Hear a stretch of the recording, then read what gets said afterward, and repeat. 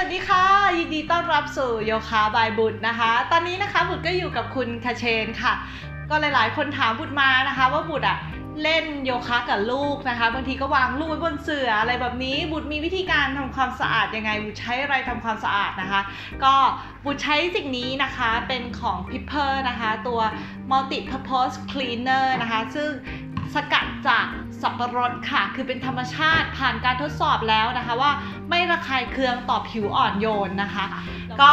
ปกติเวลาที่บุตรทำความสะอาดเสือคือบุตรก็จะฉีดใส่ผ้าแบบนี้ โดยที่เราจะหมุนก่อนนะคะ แล้วก็ฉีด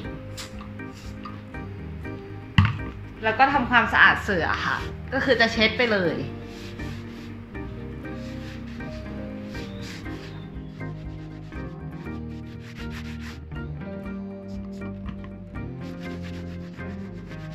นะคะ เพราะว่าเสือเราเนี่ย